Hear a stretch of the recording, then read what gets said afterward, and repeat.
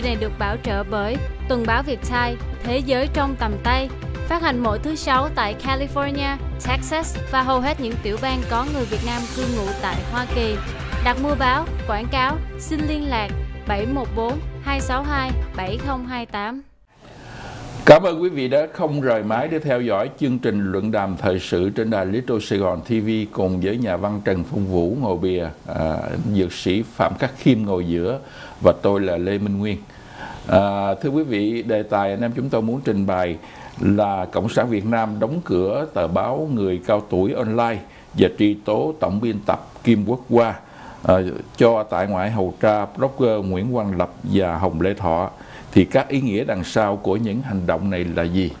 Thì à, thưa anh à, Trần Phong Vũ, thì à, chúng ta thấy thì rõ ràng là cái hội nghị trung ương 10 là một cái hội nghị nó rất là quan trọng từ ngày 5 tây tới tháng 12 tây, tháng giêng vừa qua. Và trước hội nghị cũng như trong cái thời gian hội nghị là cái chân dung quyền lực là là đưa ra rất nhiều những cái bài mà tấn công từ ông Nguyễn Xuân Phúc cho tới ông Phùng Quang Thanh cho tới, tới ông Nguyễn Hòa Bình. Ờ, rất là nhiều ờ, nhân vật. Nhưng mà sau cái hội nghị rồi thì cái tờ chân dung quyền lực tự nhiên im ắng lên. Dĩ nhiên im ắng không có nghĩa là chết luôn là bởi vì cái đại hội còn là 12 tháng nữa. Thành ra giống như là cái vai trò để phục vụ cho cái hội nghị trung ương 10 nữa. Xong rồi. Và bây giờ uh, có một người ở trong nước thì ví giống như cái khẩu canon vậy. Bây giờ khẩu canon mà nhỏ mà bắn bắn rầm rầm á, thì một người sợ mà nhiều người khác không sợ đâu đâu phải bắn bắn mình đâu. À, còn bây giờ cái khẩu cà nông mà không bắn mà cứ rà qua rà lại quơ qua quơ lại thì ai cũng sợ hết.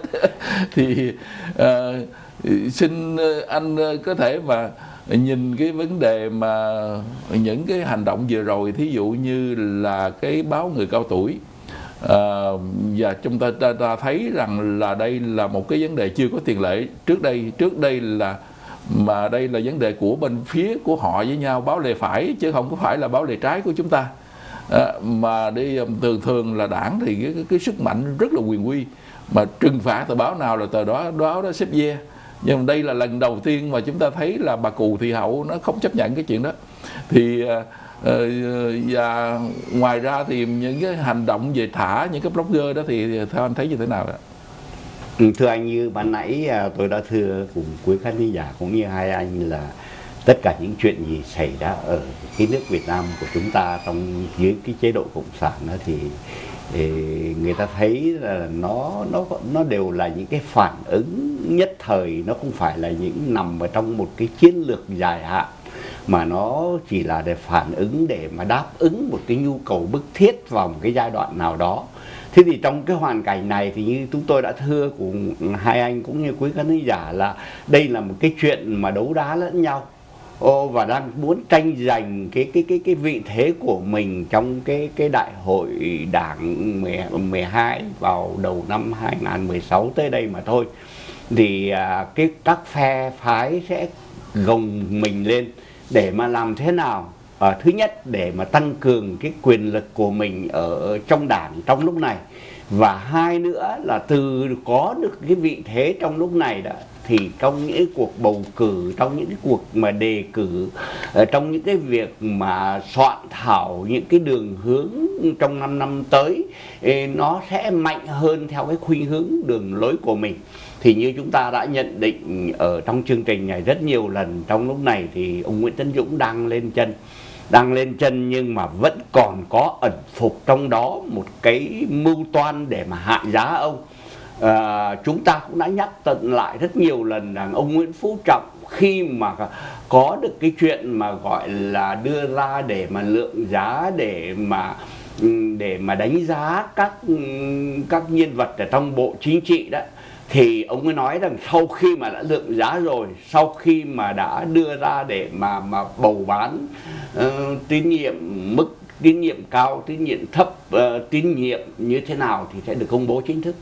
Nhưng mà cho tới ngày hôm nay chúng ta biết rằng là sau cái đại hội trung ương vào ngày, kết thúc vào ngày 12 tháng giêng cho đến bây giờ đã là cuối tháng đang bắt đầu đi vào cái cái trung tuần tháng tháng 2 rồi. Hơn một tháng rồi mà không thấy gì cả à, cho thấy rằng là cái phe ông Nguyễn Tấn Dũng vì ông bị thua quá xa à, cái mức tín nhiệm của ông tới tới mức Anh- số 8 Nguyễn Phú Trọng chứ. Là Nguyễn Phú Trọng. Đã, đã tới mức số 8 tức là sao Nguyễn Phú ông Nguyễn Tấn Dũng tới tới 7 7 cái cái cái, cái bậc à, tôi không nhớ rõ cái con số được bầu bao nhiêu nhưng mà ông Nguyễn Tấn Dũng thì được tới 152 phiếu tức là 77% còn ông Nguyễn à, Phú Trọng thì anh có nhớ là bao nhiêu không nhỉ? dạ không nhớ nhưng mà không nhớ nhưng mà đại khái là đến sự mức thứ 8 thì đây là một cái chuyện không có thể chấp nhận được đối với một tổng bí thư quý vị biết rằng là tổng bí thư là người đứng đầu nắm cả cái đảng đó. Họ cần phải tạo tất cả những cái hào quang cho cái nhân vật đó. Nhưng mà khi cái nhân vật đó đã đến cái mức mà không có cách gì mà mà mà không bị lu mờ trước những cái chuyện làm việc làm của không ra gì rồi thì trong khi đó Nguyễn Phú Trọng càng ngày à, Nguyễn Tấn Dũng càng ngày càng lên chân thế thì cái chuyện nó phải xảy ra như thế thôi, thành ra cái chuyện này chỉ là những chuyện đấu đá và kể cả cái vấn đề mà thả người ra vừa rồi. Tôi nghĩ rằng hai cái ông Hồng Lê Thọ và ông Nguyễn Quang Lập được thả ra, trước hết phải nói rằng là vì áp lực quốc tế. Vì áp lực của bà con chúng ta ở ngoài này vì những cái điều mà nhưng họ thưa anh cái này là cho tại ngoại hầu tra thôi chứ chưa không, phải không tôi muốn nói tôi chỉ muốn nói rằng là bất cứ cái động thái nào của họ đều nhắm mục đích đó. Và khi mà tại ngoại hầu tra tức là họ vẫn còn muốn ôm lấy đấy để mà cột chặt cái nhân vật đó bởi vì mấy ngày hôm nay chúng ta biết rằng là vợ con của Hồng Lê Thọ vợ con của anh Nguyễn Quang Lập đã la làng đến rằng là chồng con của họ gần như là bị cầm chân. Không cho một người nào đến thăm cả. Thì đấy là những cái chuyện họ muốn, vẫn muốn bao vây, nhưng mà mặt khác thì họ muốn tỏ ra rằng là họ cởi mở họ muốn tỏ ra rằng là họ đang có một cái cái, cái khuynh hướng là có thể sẽ còn thả nhiều người khác nữa để làm gì? Để đổi lấy cái TPP để làm gì nữa? Để mà mua chuộc dư luận quốc tế để làm gì nữa? Để mà đánh lừa dân chúng để mà mai ngày cả phe ông Trọng cũng như là phe ông Dũng đều muốn lừa dân chúng để mà dân chúng dành một chút tín nhiệm nào cho họ Dạ. để họ có thể làm theo cái đường hướng của họ uốn nắn thời cuộc và uốn nắn cái dư luận để mà đạt được những cái cái cái cái lợi thế trong cái đảng hội nghị đảng thứ 12 thưa anh. Dạ, dạ vâng cảm ơn anh Trần Phong Vũ. Thưa anh Kim, thì à, tôi có tình cờ tiếp xúc với một cái người ngoại quốc mà họ đã, đã ở Việt Nam nhiều năm. À, mà họ ở nhiều và họ quen Việt Nam nhiều năm và họ có theo dõi cái trường hợp của cái chân dung quyền lực. Thì họ nói rằng á, là có cái hiện tượng chân dung quyền lực như vậy đó tức là sự tranh chấp trong nội bộ mà phải dùng một cái block mà để đánh như vậy á, rõ thì rõ ràng là cái đảng này đã quá yếu rồi. Nó mới làm như vậy thì ha, anh nhận anh nghĩ sao về cái nhận xét đó? À, cái cái nhận xét đó tôi tôi tôi không nghĩ là chỉ có cái cái cái người ngoại quốc người ta nhìn thấy đâu mà tất cả mọi người Việt Nam ở trong cũng ngoài, nước đều thấy cái điều đó. Dạ. bởi vì ừm, ở trong cái đảng mà đảng nắm tất cả mọi thứ từ ờ, từ những cái việc nhỏ tới cái việc lớn mà bây giờ không kiểm soát được nữa. Mà để cho một cái để cho một cái block ấy nó đưa ra nó bôi nó bôi đen tất cả mọi người trong đảng. Vậy thì khi nó bôi đen như thế tất nhiên là dư luận quần chúng ở trong nước ấy, nhìn thấy rõ ràng cái bộ mặt thật của tất cả mọi người trong đảng là như thế nào. Như thế có nghĩa là về dư luận này thì quần chúng thấy rõ ràng là đảng nó bẩn thỉu quá rồi. Và về cái cái quyền lực của đảng không có khả năng để mà chặn cái, không có khả năng để chặn cái chân dung quyền lực. Vậy thì cái, có nghĩa là đảng quá yếu. Và đảng quá yếu vì sao? Vậy bởi vì ờ, tại sao cái chân dung quyền lực mà chúng ta thấy người ta thích thú? Bởi vì ở trong cái đó, nó đưa ra tất cả mọi cái sự thật mà những người ngoài đảng không thể biết được.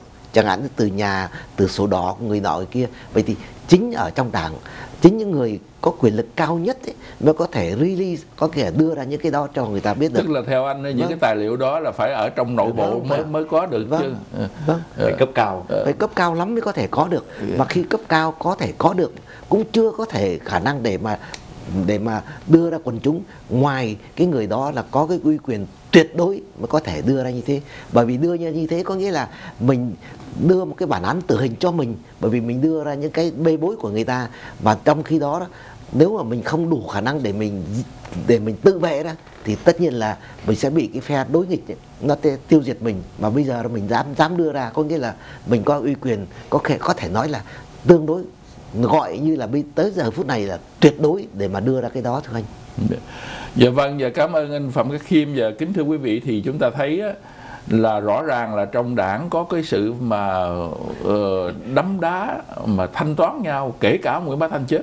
Nhưng mà có cái vấn đề như thế này là dư luận họ đều thấy cái chuyện Nguyễn Bá Thanh chết là do nội bộ thanh toán nhau. Bởi vì trong cái chế độ độc tài á, là ông Thanh ông sắp khiêu thì cái người nào sắp giết thì người nào bị ông giết thì họ phải ra tay trước.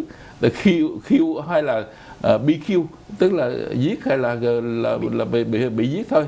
Thì uh, chúng ta sẽ trở lại cái vấn đề này rồi uh, Ờ, sau cái phần thông tin thương thương mại kính thưa quý vị xin quý vị đừng rời mãi anh em chúng tôi sẽ trở lại sau phần thông tin thương mại